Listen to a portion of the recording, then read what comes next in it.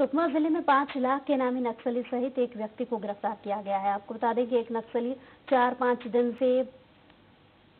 पैदल नार गाँव के आसपास घूम रहा था और जिसे पुलिस ने घेराबंदी कर पकड़ लिया, जिसके पास से पुलिस को दो भरमार बंदूक समेत बड़ी मात्रा में बंदूक बनाने का सामान मिला है और साथ ही पुलिस ने एक और व्यक्ति को गिरफ़्तार किया है, जो कि नक्सलियों की मदद करता था। नक्सली माडवी जोगा पर पाँच लाख रुपए का इनाम घोषित था, जिसे पुलिस ने गिरफ़्तार कर लिया और दोनों लोगों को न्यायालय में पेश किया है, जहाँ से जेल भेज दिया गया है। फिर मलकानगिरी में हम लोग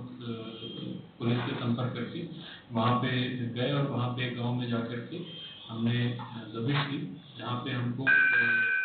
जगन्नाथ बरनई नाम का व्यक्ति मिला, जो कि अपने घर में ही बंदूक बनाने का काम करता था।